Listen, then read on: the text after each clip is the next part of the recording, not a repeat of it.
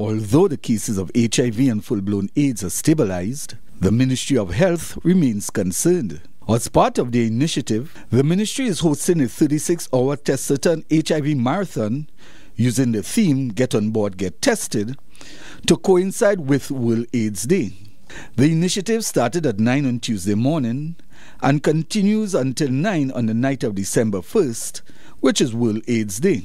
For the past 15 days, the ministry has been across the country conducting tests.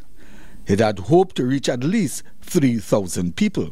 But Dr. Brian Amor, Deputy Director of the AIDS Council, says they did not achieve the target, but he says the initiative was positive. I think it's a great thing that um, people can be come, come and get tested for free so they can know their status in life, how they stand with well with their sex life, knowing if they are HIV positive or not. Important to get tested for any chronic disease that could hamper your health. And I mean, if you get it free of charge and you have the time and make the effort to get tested.